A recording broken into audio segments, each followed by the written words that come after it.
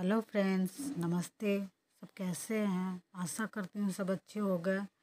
लो फिर लेकर आ गई एक और नई रेसिपी सिंपल सा लेमन राइस जो बिल्कुल ही सिंपल है। देखिए, हमारा कढ़ाई हो गया है गरम। अब इसमें डालूँगी मैं एक चम्मच तेल। तेल हमारा गरम हो जाए। तो इसमें डालूँगी मैं थोड़ा सा जीरा। जीरा चटक जाएगा हमारा। हमारा जीरा चटक गया है। अब इसमें डाल दूँगी एक दालचीनी एक छोटी सी इलायची डालूँगी। अब इसमें डालूँगी मैं एक मिर्ची काट कर डाल दी। मिर्ची हमारा लाल हो गया है देखिए।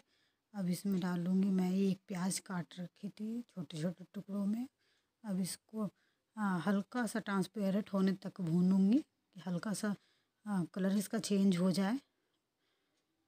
देखिए कलर चेंज हो गया है इसमें डालूँगी। मैंने एक छोटा कोटरा मटर निकाल के रखा था।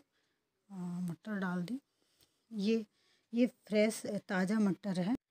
अब इसको भून लूँगी। अभी ठंड सर्दी का मौसम चल रहा है। मटर मार्केट में मटर बहुत अच्छे आ रहे हैं।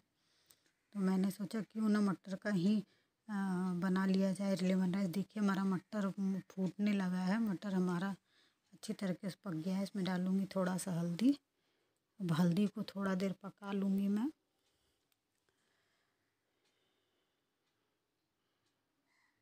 देखिए, हल्दी को मैंने पका लिया। अब इसमें डालूँगी मैं चावल, उबले हुए चावल। अब इसको अच्छी तरीके से मैं मिक्स कर लूँगी।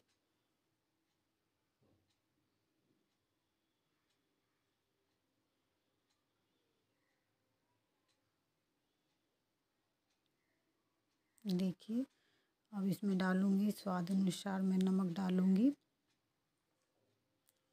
आधा चम्मच मैंने नमक डाल दिया है।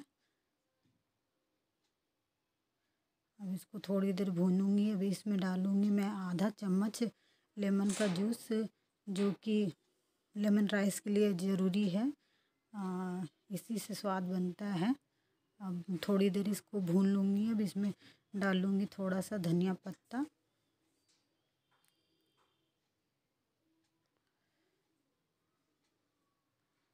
देखिए हमारा लेमन राइस तैयार हो चुका है। ये बिल्कुल सिंपल सा ले, लेमन राइस है। अगर कोई चीज़ ना हो काजू किशमिश वगैरह तो हम मटर से भी लेमन राइस बना सकते हैं। देखिए अब मैं इसको देखिए हमारा लेमन राइस कितना अच्छा लग रहा है।